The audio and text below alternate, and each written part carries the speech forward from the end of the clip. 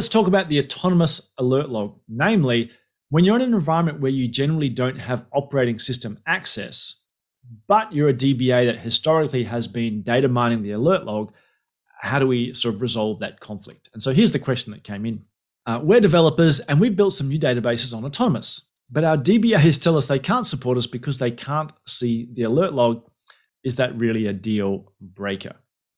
And in the generic sense, I would argue that not being able to see an alert log isn't an issue because for two reasons. Number one is hello, it's an autonomous database. The reason you sign up for an autonomous database is that someone else has to manage that system for you. That's the objective of autonomous.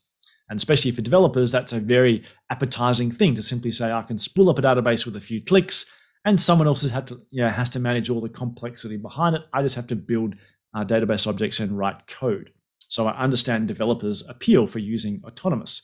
If you're in an IT organization which has developers and DBAs, then DBAs you know, might have a vested interest in the fact that you're running databases, even if they're on the cloud. And so you can understand their concerns as well.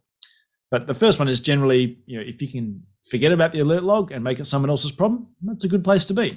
The second thing that's worth noting that even on cloud managed systems such as autonomous is the alert log is actually there and you can still access it. And in fact, you can access it in actually more impressive ways than you could if you had operating system access. Let's explore with a demo. So I'm doing this on my local machine, but the same applies on any of our cloud databases. The first thing to go looking for is, is there a vDollar view that lets me see the alert log? And the first place I look obviously is vDollar diag info, which normally gives me all the default information. And it tells me all the directories, etc. But nothing there stands out as being a pointer to the actual alert log. I've got the trace file, but I haven't got the alert log in any way, shape, or form.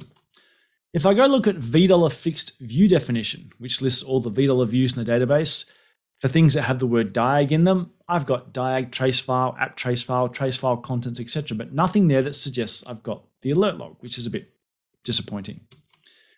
If I go look in vDollar fixed there's nothing that has the word alert in it that's in the diags sort of infrastructure. So at that point, you might be thinking, well, maybe there's no access to the alert log.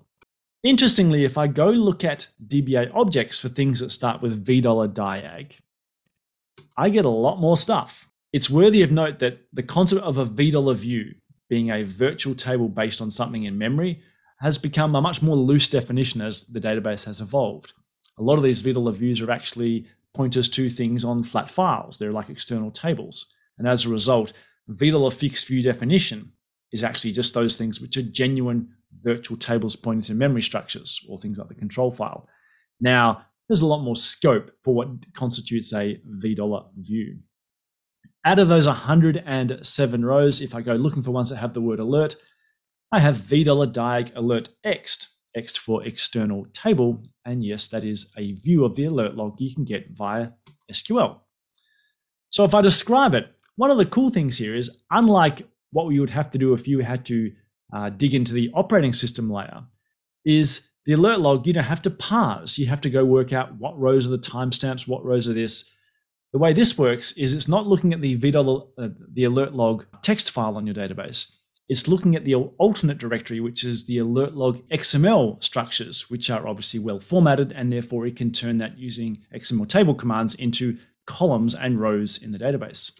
So we can query it. This is the alert log on my machine here, and I've simply grabbed, I think if I scroll back a bit, I've got like, yeah, just for the last 24 hours, and you can see effectively, you know, what's been going on on this version 19 database running on this Windows machine.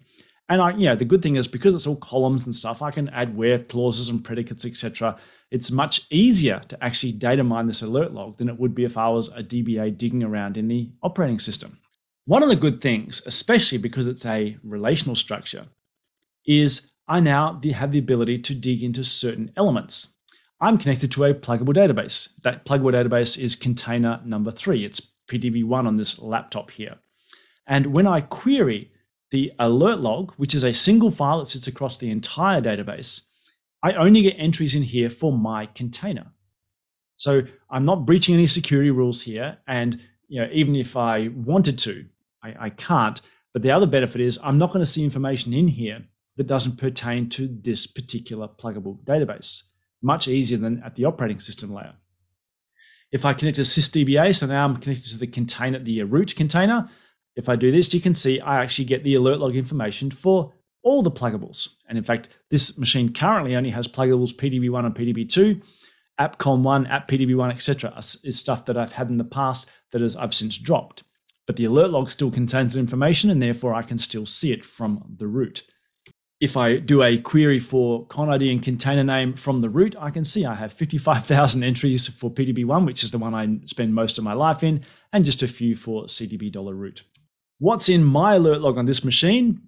you can see I've got alert log entries going back all the way to 12th of August 9, uh, 2021, which shows you how diligent I am about cleaning up my alert log on this machine.